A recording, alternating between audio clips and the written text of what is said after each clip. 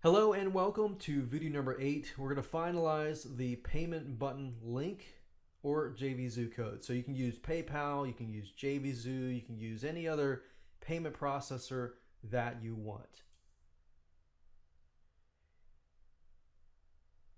Now, the final page basically generates what we call a pay success URL, which will go into the payment processor's thank you area.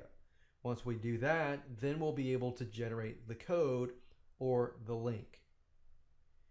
And the reason why we're doing it at this point is because after the final review is done and the pay success URL is created, this URL basically will help the EDB system calculate how many deals are sold. So if there's 500 being sold at a point and you want to know how many are actually being sold, this is how the EDB system will calculate this process.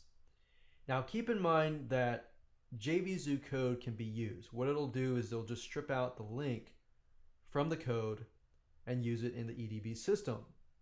Now, any other payment processors like PayPal or 2Checkout or anything like that, you must use the direct button link. You cannot use the code like JVZoo.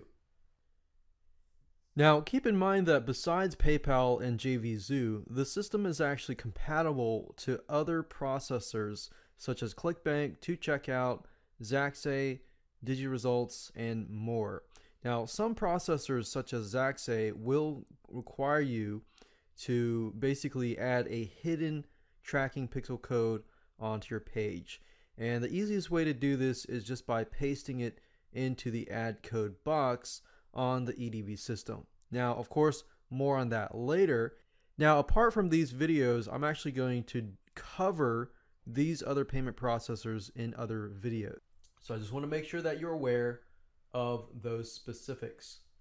Now that you're aware of this, let's go ahead and do this and put it into action. So what you need to do at this point is to scroll down about to the middle of the page and you'll see the pay success URL right here. This is what you need. And it's crucial because this will basically tell the EDB system how many actual sales have been made. And that's when you see such and such amount of copies have been claimed. That's how the EDB system knows. So if you copy this, and I'm going to cover PayPal and JVZoo because I know the majority of you will be using either or. Basically, if you go to PayPal and I create a payment button here, at this point, I need to choose option number one, create a button. And then, of course, we have the Buy Now button, the item name. We're going to say Surefire Email Delivery. The price is going to be $7. And from that point, I can skip step number two because it has nothing to deal with shipping. Step number three will be customize advanced features. So do you want the customer change order quantities? No. Can your customer add special instructions? No. Do you need the shipping address? I do not. And then of course here it says take a customer to this URL when they cancel their checkout. So if you click this, you can actually send them back to your deals page if you want to do so. Now, this is the field that you want to pay close attention to. Take customers to this URL when they are finished with the checkout. So the pay success URL needs to go into here. At this point, we can create a button and what we need now is not this code, but this link here. Remember, unless it's JVZoo code, you need the link. So we're going to copy this. We're going to go back here. I'm going to continue editing so I can edit this deal. I'm going to go down to step number four and under pay link here, I am going to paste this link. When I'm done, all I have to do is save and preview. Now, if I preview the deal and I click on this, you will see that it directs to PayPal. Great. That's all I had to do with PayPal. Now let's try to cover the JVZoo. With JVZoo, what you need to do here is enter the product name, which I'll say Surefire email delivery. Product price will be $7.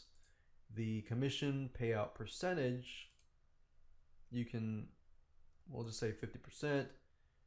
Quantity, we'll leave that blank. Enter support email address. And then of course we, if we go down here, externally hosted page, the sales page here would be the actual deal builder page. So if we click on, this is here, deal URL. So we're gonna copy this over to here. And then we want to click thank you page because we actually have the thank you page. The thank you page in this case will be the pay success URL. Copy that here.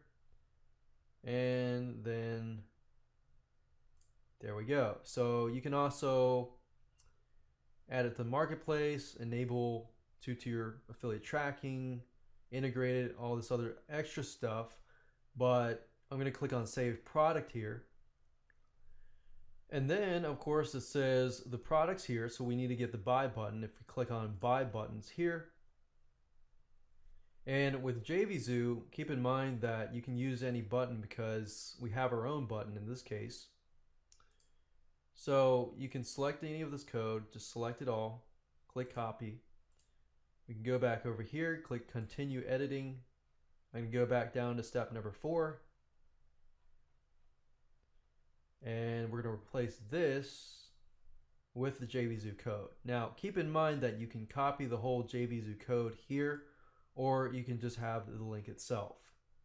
If it's JVZoo code, our system is programmed to detect the URL and it just strips it out. So if we do that, we click on Save and Preview, and we go we go backwards here. And if you go back to the dashboard, it'll ask you to verify it. Just click on verify and there we go. We're up and running and we're pretty much good to go. Now, if I go back over here and I click on preview deal and I click on add to cart, we can see now that it goes to the JVZoo page and we're successful. And there we go. That's it. So in other words, if you want to use any other payment processor, you can. You just got to keep in mind that the thank you URL for the payment processor is going to be this. And then when you're done, simply go continue editing, go to step number four, and from that point, simply enter the link here. And that's it.